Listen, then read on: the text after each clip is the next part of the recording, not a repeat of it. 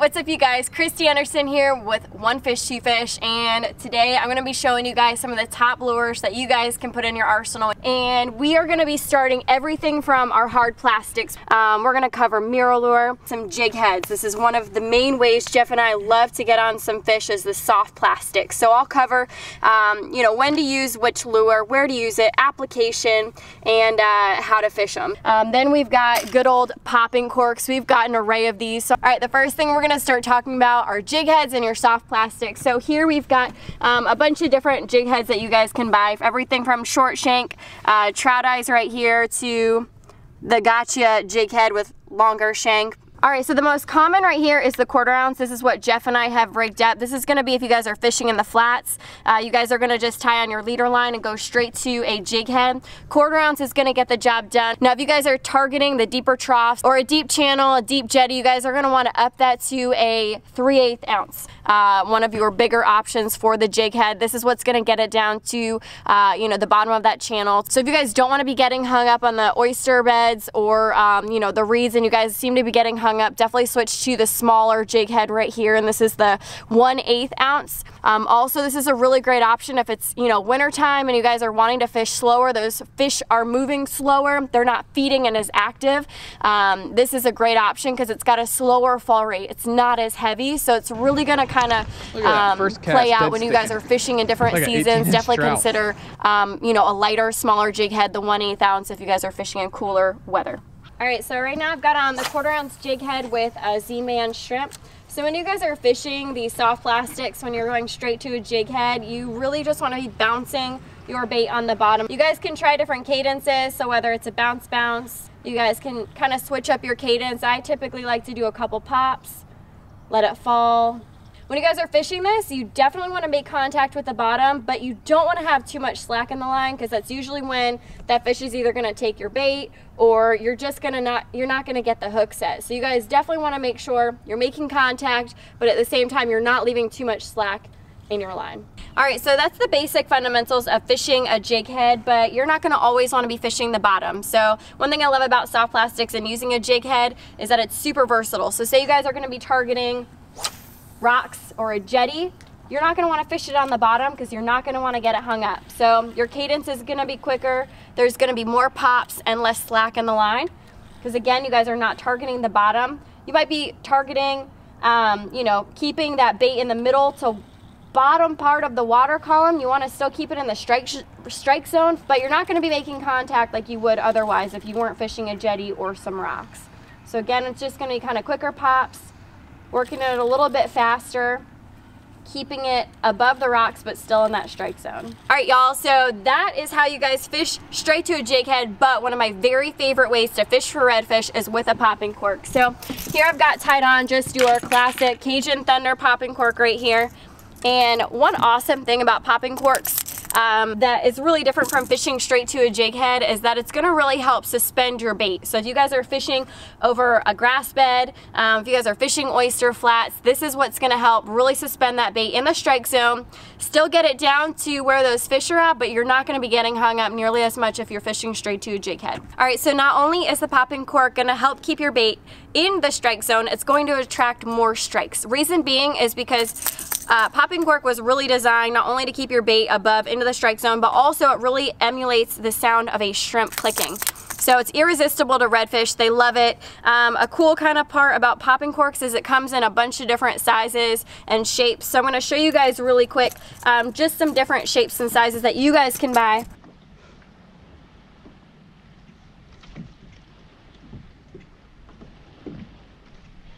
Fish on. This is a flounder. Oh, that's a good fish. Yeah, yeah. Yeah, yeah, those hedge. Holy crap. Big freaking red drum. Oh, get the net, Christy, get the net. All right, you guys, check out this beautiful redfish I just caught. All right, so here we have all of our kind of different style popping corks. If you guys are, uh, kind of first one I want to talk about, if you guys are fishing, um, say you're down in the Keys, uh, you guys want something with a little bit less water um, noise and disturbance. This one is great. It's a cigar style, as you guys can see. Um, this is really awesome if you guys are fishing in clear water or around skittish fish. It's got a smaller profile, so Still gonna give you that clicking that you want that resembles a shrimp, but it's not nearly um, as kind of loud and um, you know, this one's a bigger profile to it. Uh, this one is another great option if you guys are fishing in open water. It's got a kind of a concave piece right here, which really helps it to push more water. Here, it's gonna create more of a water disturbance. It's louder. This is great for open water. All right, so out of all of these, Jeff and I typically fish this one, this style right here. Again, it's a do everything. And um, another great kind of thing about, you know, the heavier popping corks with a bigger profile is that you definitely get longer casting distance. All right, so again, typically you guys want a quarter ounce jig head when fishing these popping corks, once you guys cast it out, one thing I love about popping corks, it's pretty easy. Uh, you guys are gonna give it a pop, if you guys want, a couple pops, and then let it sit. Uh, one thing you guys really want to make sure you're doing is not giving too much slack in your line. If you guys especially are using live shrimp or a live uh, minnow or whatever on the end of your line, it's going to be taken in a second. You're not even going to know about it. So definitely want to keep the line from um, the top of your rod all the way down to the popping cork. Make sure um, there's not too much slack. Again, give it a few seconds. All right, so once you guys kind of cast your popping cork out there, how you're gonna work is you're gonna pop it and reel down. Wait a couple seconds, pop, pop, reel down, make sure your line is tight. Wait a couple seconds for that bait to really fall. Maybe give it one pop. Really depends on what you guys like for a cadence. I typically go one pop at a time. Some people like a couple pops. It gives a little bit more water disturbance. All right, so again, pop, roll down, wait a couple seconds, pop and reel. All right, so now we're gonna talk about some of our soft plastics that we use. So we've got everything from Scented, Berkley Gulp, all the way to Z-Man. All right, so some of the favorites that Jeff and I typically use, you guys cannot go wrong. This is a sure bet. If you guys are going to try and get on some fish, definitely this new penny shrimp right here is going to get the job done. This is one of our favorites that we always use. It's great under a popping cork. Uh, it's just a very realistic looking shrimp and it's scented. All right, so when you guys are pairing your soft plastic up with your jig head, you've got these two options right here that I have. It's the longer shank versus the shorter shank. Uh, for instance, this is going to be a great option for you to pair up. Uh, the reason being is because it's got a longer shank, the longer hook, so you're not going to get as many short strikes versus say you were to you know this is not an appropriate kind of um, combo right here because you're gonna you're not gonna really get um, you know a lot of fish on that you're gonna have a lot of short strikes you're not gonna get them hooked because is a very short uh, shank right here. All right, so other kind of um, Berkley Gulp and scented options for your soft plastics. You've got everything from the jerk shad, which Jeff and I love to use. These are really awesome for kind of popping off the bottom. Uh, these are kind of two colors Jeff and I love to use. Again, you're gonna probably pair this up with um, this longer shank jig head right here.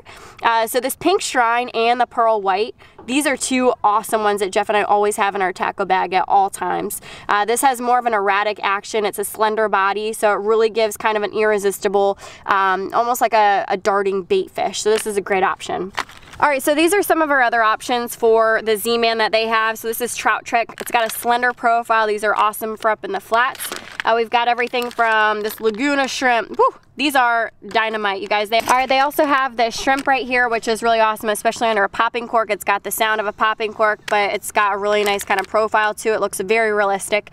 So when you guys are kind of picking out not only your soft plastic, but the color, uh, typically um, we go with, you know, if you guys are fishing, say in the Outer Banks, it's stained, darker, murkier water, you're gonna wanna go with maybe a darker bait. All right, versus if you guys are fishing, say in Stuart, Florida, you guys are gonna be fishing the Laguna shrimp. Uh, it's a very light natural color. It resembles the shrimp that are gonna be in Florida. So lighter water, maybe, you know, try using a lighter bait versus darker stained water, use a darker bait. All right, y'all, so Christy just did an awesome job talking about jig heads and soft plastics.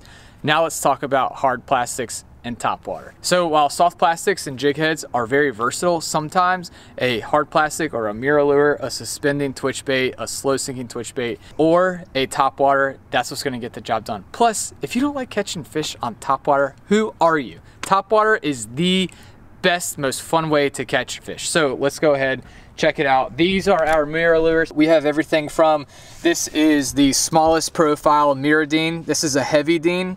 I absolutely love this color profile right here. Now, MirrOlure, they make all different types of color patterns. They make custom color patterns, everything. So what we're keying in on is the profile of these lures because it resembles a mullet. So for MirrOlure, this is my favorite style MirrOlure. It's the MirrOdine. So we've got the Heavy Dean, smaller profile, the Dean XL, and the Dean Double XL. So these are our different colors right here and you know everything from electric chicken to um, we've got this one right here this resembles a creole croaker from z-man but again you guys it's just the profile that really gets the job done with these MirrOlures we also have a Paul Brown. So a Paul Brown is, as you can see, it's kind of like more of a soft plastic type texture to it. It's not like a hard plastic per se, although it does have the same action generally speaking. Um, this one's gonna have a much slower fall rate or sink rate than these MirrOdines. These MirrOdines are a slow sinking twitch bait, while the Paul Browns is more or less a suspending um, twitch bait. And these have, as you can see, just like a fat profile to them. Uh, they have not as much more of a subtle, they have like a few beads down here, so just a subtle kind of noise to them but again, just this profile is amazing. So these are great, especially when you're fishing mangroves, uh, you're fishing down in Florida. Um, these things are awesome because again, it's just gonna stay up in that upper part of the water column. So Paul Brown is a great option as well for MirrOlure. Um, now, uh, these right here are our top waters. So this, so this right here is more or less, these are a lot of our top water lures that we use. So this is the Rapala Skitter V10 right here. It's got a great walk the dog uh, kind of action to it. We also use the MirrOlure Top Dog, which is, which is what I have tied on for you guys right here. I'm gonna show y'all how to fish this in one second. Um, and then we have a chug bug. This is kind of like your typical like popper or popper lure for bass fishing. You know, these are great for striper fishing as well.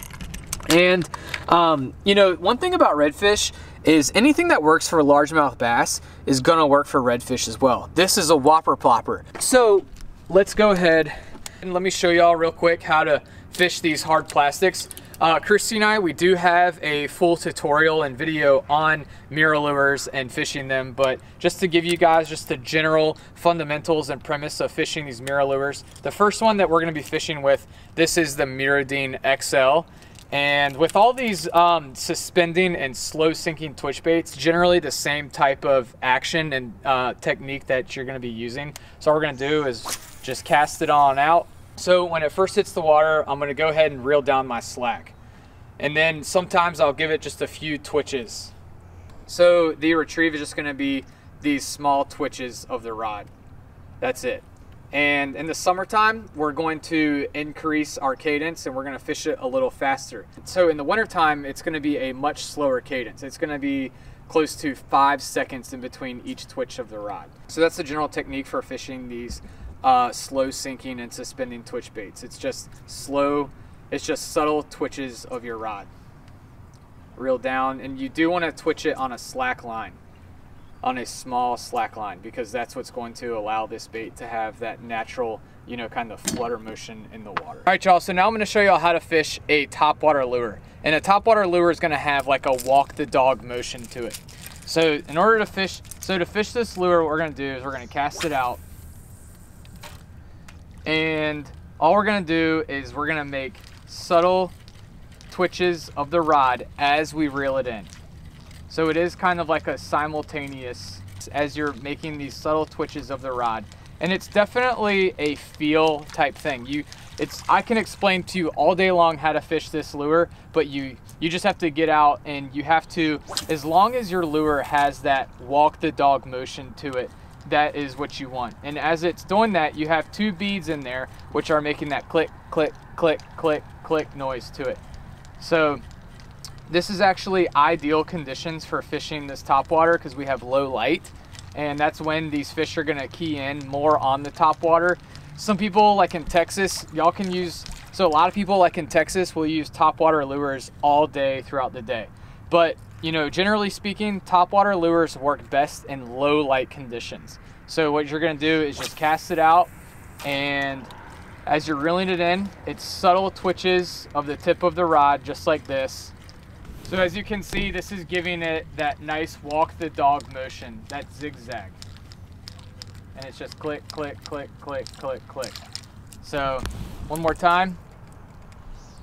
So it's just, as you can see, this is the action that you want your top water lure to have, is that side to side, walk the dog motion.